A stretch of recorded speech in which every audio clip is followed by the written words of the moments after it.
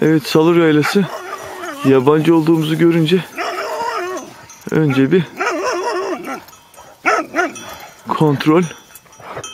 Zararlı mıyız değil miyiz? Sabah beşli saatler. İşte beşi az geçiyor. Evet. Daha önceden bir tanışıklığımız var. Dolayısıyla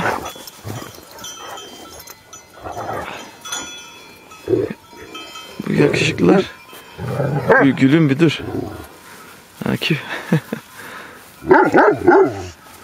Şöyle bir kokladılar baktılar. Dur oğlum yıkacağım beni. Bir hoş geldin. Olduk herhalde Akif.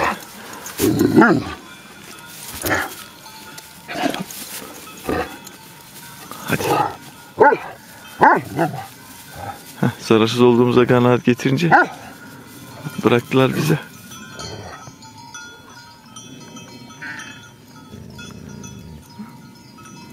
Evet şafakla uyananlar.